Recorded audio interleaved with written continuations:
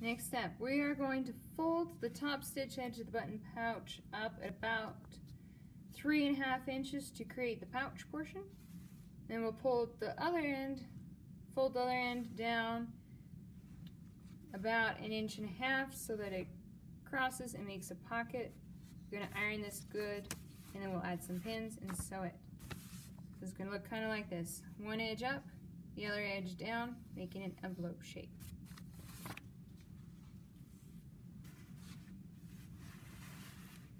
So this one's my top stitch edge. I'm gonna pull it up and go, okay, right there looks pretty good.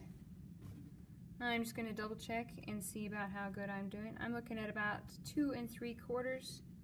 Two and three quarters is okay. What I have left is about two.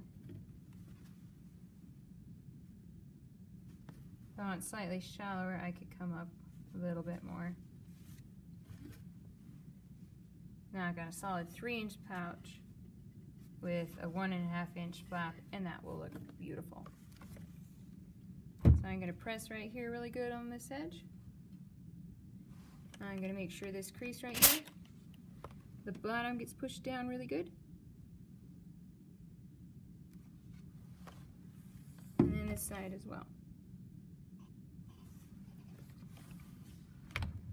Okay, at this point I'm going to stop ironing because I'm going to start right down here at the fold, backstitch, come up, pivot all the way across my flap here, pivot and come down to the fold again and backstitch so that if I have two rows of stitching here, I've created a pocket to put things in. After I have the pocket and I sew a buttonhole, then I would fold this down and iron it so it stays down a little bit better. But for the sake of sewing, keeping it up will be better.